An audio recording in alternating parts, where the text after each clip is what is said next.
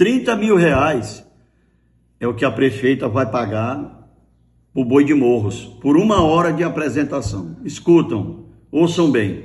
Uma hora de apresentação, 30 mil reais. A senhora prefeita vai pagar. Eu, eu tive acesso aos contratos dos cantores que vão se apresentar aqui em Vitorino. E algumas coisas me deixou surpreso, entendeu? Porque é assim, meus irmãos, vocês vêm acompanhando ao longo dos anos aí, de, de sete anos para cá, a administração da senhora prefeita Luana, irmã do Juscelino Filho, irmã do ministro das Comunicações. Os dois estão sendo investigados pela Polícia Federal, né?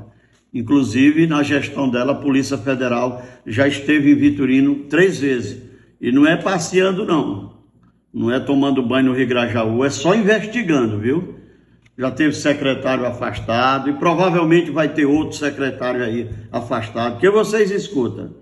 Mas é surpreendente, mesmo ela sendo investigada por corrupção, mas ela continua agindo sem medo, sem medo, desrespeitando as leis e desrespeitando o Ministério Público aqui estadual. Que vejam vocês. Agora, o que chama atenção aqui, meus irmãos, nesse contrato, é o contrato do, do Boi de Morros, que a senhora prefeita, Luana, minha irmã do ministro, os dois estão sendo investigados aí pela Polícia Federal, viu? Custou 30 mil reais. 30 mil reais o contrato do boi de morros. E o que eu quero mostrar aqui, olha essa disparidade de preço. Lá no estado do Maranhão, lá em São Luís, o governador contratou o mesmo boi por 7 mil reais. 7 mil reais. E aqui o contrato da senhora prefeita com o boi de morro é 30 mil reais. Ou seja, seis vezes mais, seis vezes mais do que o contrato do estado é, é, é, é uma discrepância muito grande, né? um valor exagerado. Seis vezes mais caro do que o normal, que é o verdadeiro valor do contrato de boi de morro. E aqui ela botou 30 mil reais. Eu queria chamar a atenção aqui mais uma vez do doutor Fábio Murilo e o Christian Gonzalez Bolsinhas. Esses três contratos da, da Clecinha, Maninho Vaqueiro e o Boi de Morros que foi feito com dispensa de licitação, esses aí a gente sabe que já estão no portal de transparência.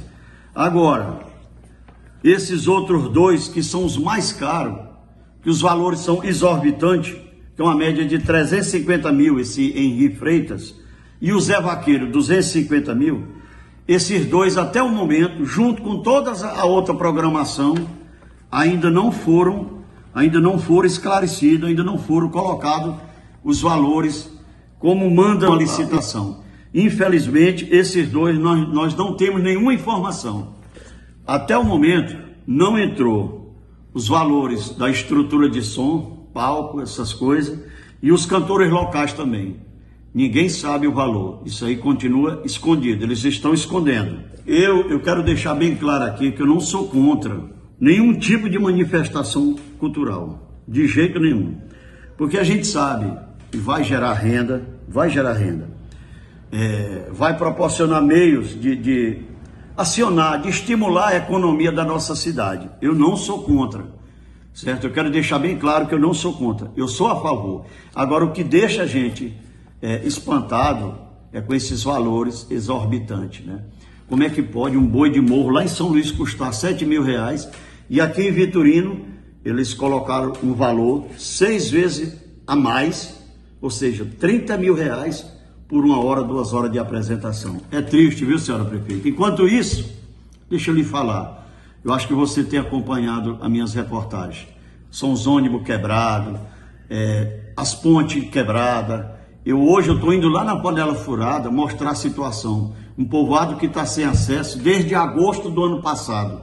A senhora está sabendo disso? E você não tem 5, 6 mil reais para reformar uma ponte e deixa um povoado isolado. Por isso é que a maioria dos nossos conterrâneos, do povo sofrido de nossa cidade, fala que você nunca deu atenção aos povoados. Os povoados continuam abandonados, desprezados pela gestão. Eu vou continuar fiscalizando meu trabalho é esse. É, eu tenho prerrogativa para isso, estou muito bem orientado pela justiça. E vocês podem ter certeza que não vão me intimidar, não vão me calar. Eu vou continuar denunciando. Onde houver um erro, pode ter certeza, viu, que eu vou continuar denunciando. E não tenha medo, não. Chame o Sireno, viu?